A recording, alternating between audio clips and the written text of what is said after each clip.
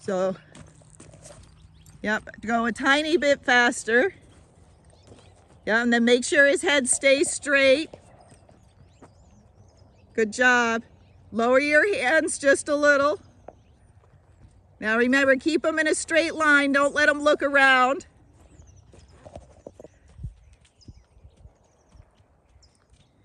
So your speed's pretty good. He just keeps looking like he's a little crooked, like his head's all over the place. Right there's a good speed. Hold his head just a little so he doesn't throw it. And don't go any faster, you're good. Yeah, you just try to keep the same speed.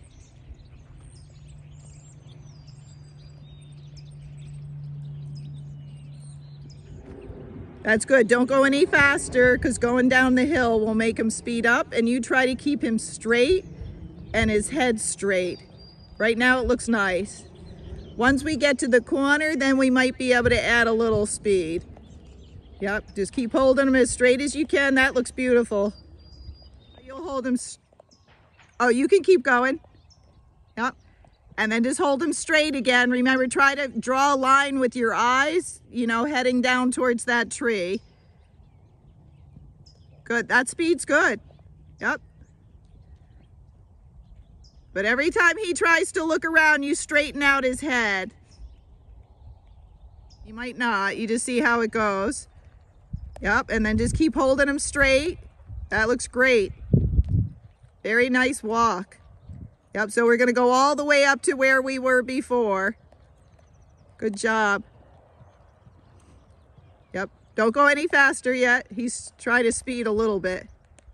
Good, and then remember you're going to go downhill in a, in a couple of seconds, so you'll lean back, take your leg off a little, and use your half halts if you need to.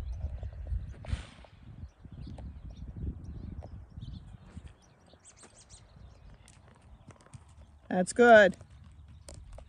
And you can kind of hear his feet hitting the ground. Nice job. Good. Then just straighten his head out. Then remember you're downhill to sit back. So you just keep that same speed and keep his head straight.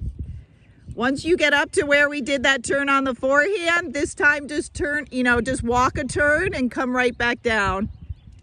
Keep trying to hold that head straight so he doesn't look around. Bring his head down a little bit more, especially as you go for speed, because if it's up, he's going to step pace. So you should kind of feel him pushing you up this hill. That's really good. Now you got the downhill again. Beautiful. That looks really nice. Yep.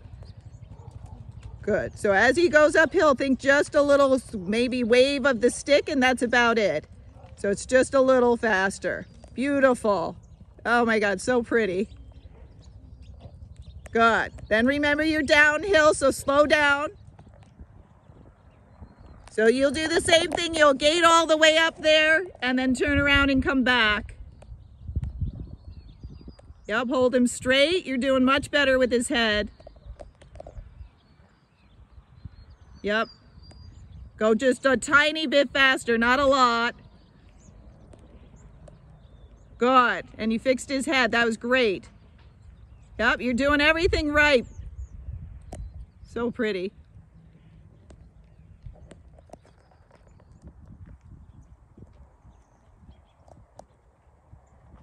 Good. Go a tiny bit faster. That's good.